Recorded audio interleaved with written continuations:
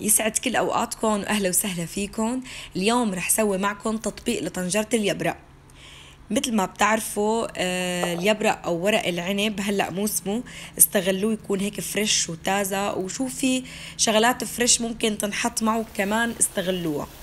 اليوم رح أعطيكم أفكار لتطبيق اليبرق أنا منزلة بقناتي الطريقة الأصلية على الأصول وكان هيك مدعوم والطعم كان دمار. كمان نحن فينا نلاقي بدائل نحطها وناخذ طعم رائع وسقسقه لهي الأكلة بالذات.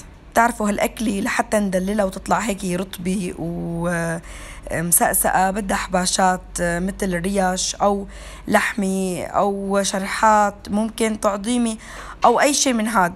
أنا ما كان عندي بس استخدمت البديل اللي هو جلد الدجاج وحطيت كمان معاها الانجنار والحصرم. يعني شو طلعت أكلي عن جد كتير كتير طيبة والثوم مرهم لحاله حكاية. بتمنى تتابعوا الفيديو وتحبوا الفكرة. إذا مو مشتركين بقناتي اشتركوا وفعلوا جرس التنبيهات على الكل حتى يوصلكم كل شيء جديد. وإذا حبيتوا الفيديو وشفتوني بيستاهل تحطوا لايك وهلا خلينا نشوف الطريقة مع بعض.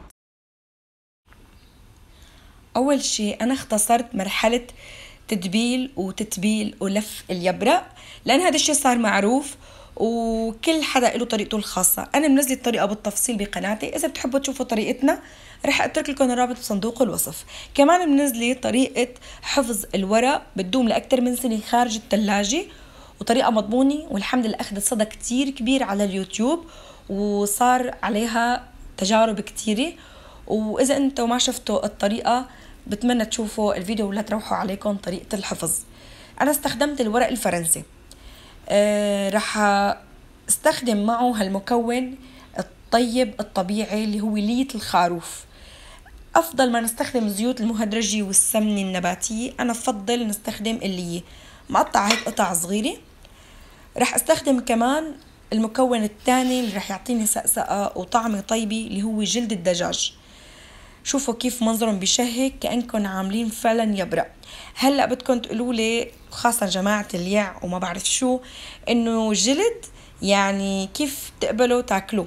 رح لكم شغلة منوه عليها. ذكركم إنه أكثر الأكلات يلي بناكلها الطيبة إن كانت بروستد أو كانت دجاج مشوي أو دجاج المحشي أو كان آه، الفروج مع البطاطا. أو الشاورما. الأكل الشعبية اللي أكتر الناس بتحبها وبتاكلها بكترة بالشوارع آه، أو بتساويها بالبيوت يعني بدها شيء يرطبها أو يسقسقها وبيحطوا لها جلد يعني جلد الدجاج مثل ما هو رح أترككم مع هذا المقطع لحتى تشوفوا تحضير الشاورما بالمحلات كيف.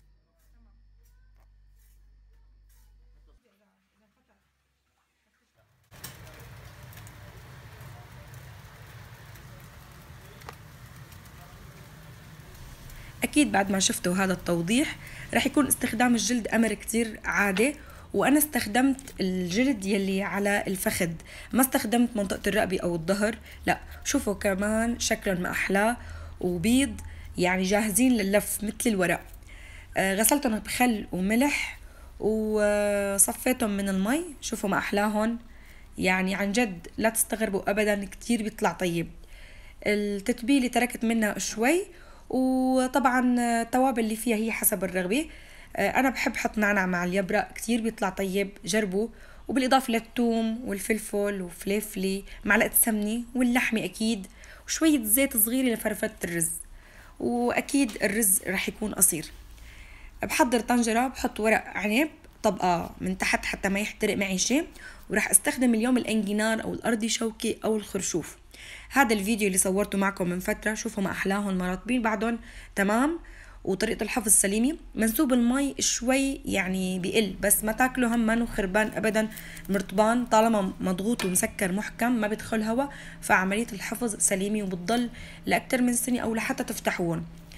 آه هدول الاثنين اللي ساويتهم بالإضافة للمثلج هدول طبعا خارج البراد.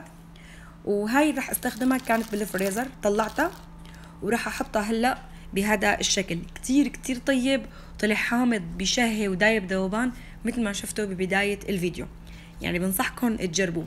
حطيت حصرم اللي هو اللي ما بيعرفوا شو نقصد فيه بسوريا هو العنب اللي بعده مو ناضج الحامض. هذا بنعمله عصير وبديل للليمون.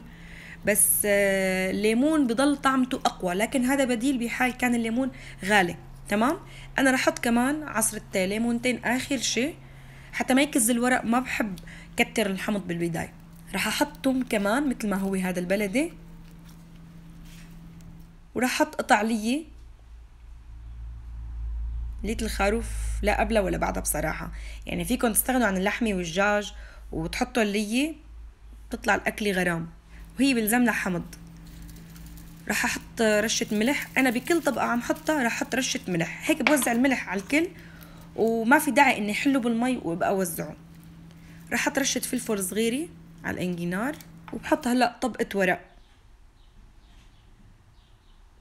برصهم جنب بعضهم. أنا بصراحة ما بحب ربطه.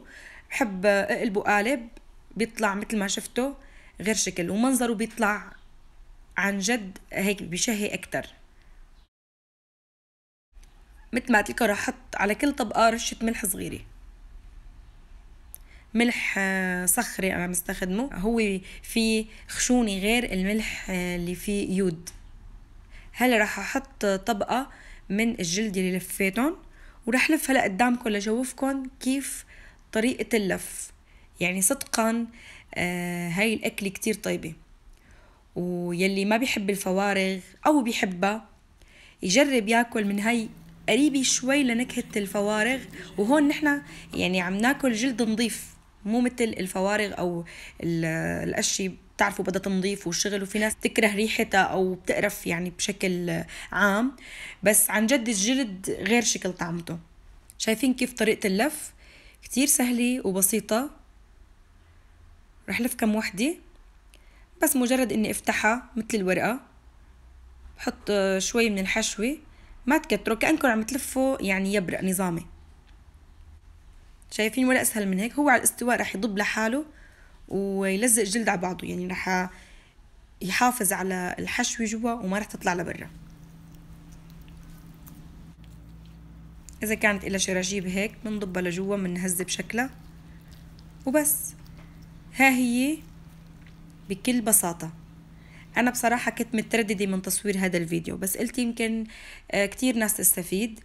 وعن جد بيطلع طبق اليبرق صدقا يعني شهي شهي جدا والطعم خرافي من الآخر.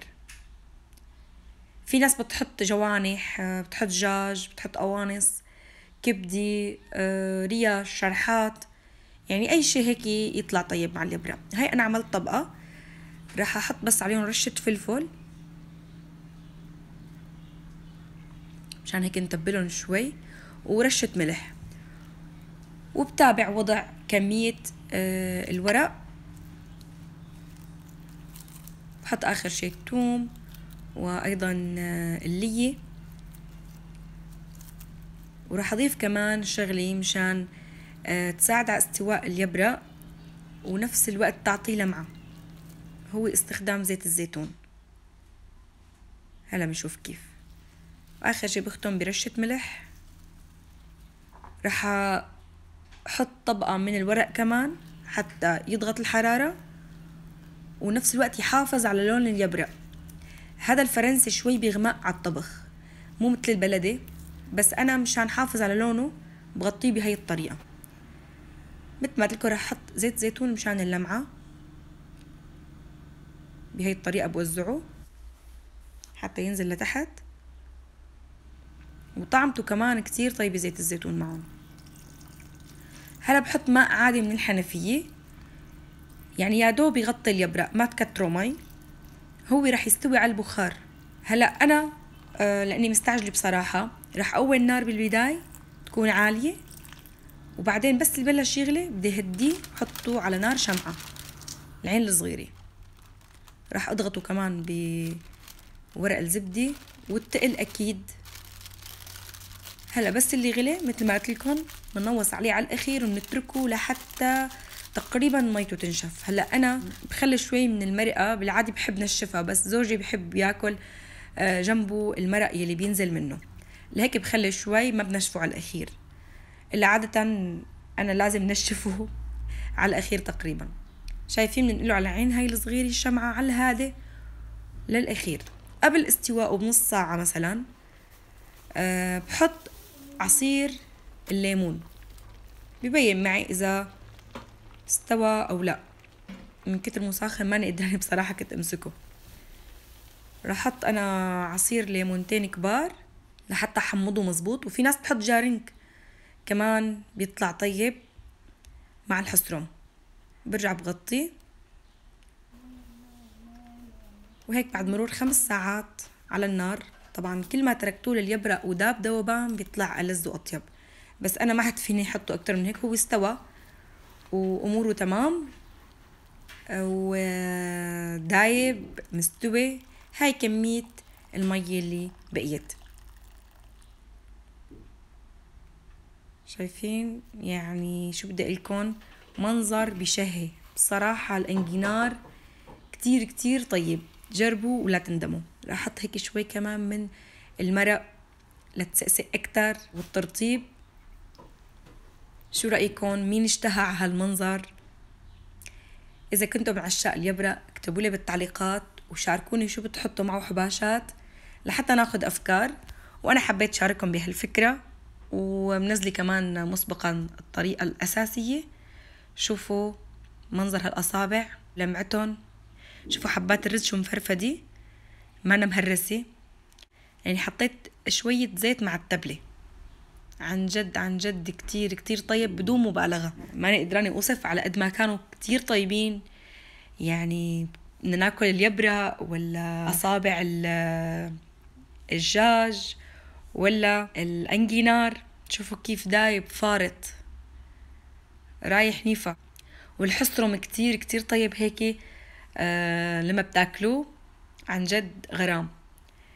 والأطيب شي كمان نختم ب آه هالمرهم هاد التوم البلدي. شايفين ما شاء الله؟ إن شاء الله تكونوا حبيتوا الفيديو ونالت إعجابكم الطريقة. جربوها وإن شاء الله ما رح تندموا.